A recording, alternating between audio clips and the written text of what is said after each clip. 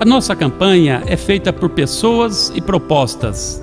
Não acredito que o ataque a qualquer custo seja saída para se manter no poder, principalmente quando ela é sustentada pela mentira e manipulação. Não faço política desse jeito.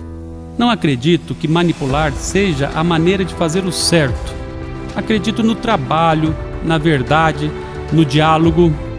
Vão me criticar, me acusar, mas estou aqui porque juntos temos a coragem de enfrentar.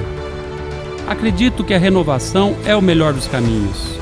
Política não pode ser feita de acusação, mas de propostas. As pessoas não são números para serem manipuladas, elas são feitas de desejo e de vontade. Você pode mudar tudo isso. Vote com consciência de fazer o certo, o correto, e logo teremos uma cidade ainda muito melhor.